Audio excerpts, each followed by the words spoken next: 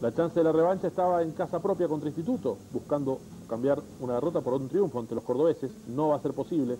Fecha 29, hubo otro empate más. Partido en el cual Araujo entró por Gómez, Pla por Mainardi. Seguían las ausencias importantes. Allí estaba Lanús atacando con camiseta blanca, buscando la definición. El centro es de Araujo, el cabezazo del Pampa a Gambier.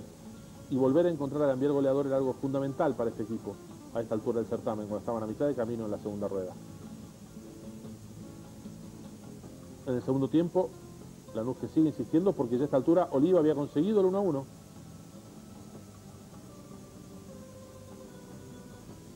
Y Lanús no va a dar lugar, perdón, Instituto no va a dar lugar a error a pesar de la presión del equipo de Russo.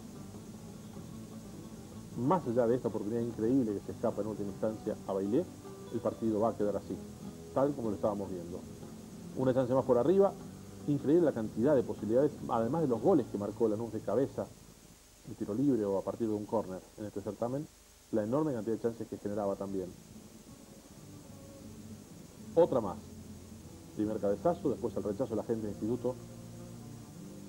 Partido confuso, con mucha desesperación de la gente de Lanús. Allí había una offside, evidentemente no cobrado.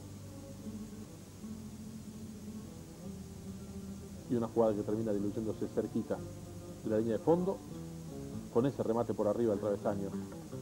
Increíble, frente al arco, Kusenka no podía dar la diferencia para un Lanús que sin tiempo para más va a intentar de manera infructuosa buscar el desequilibrio.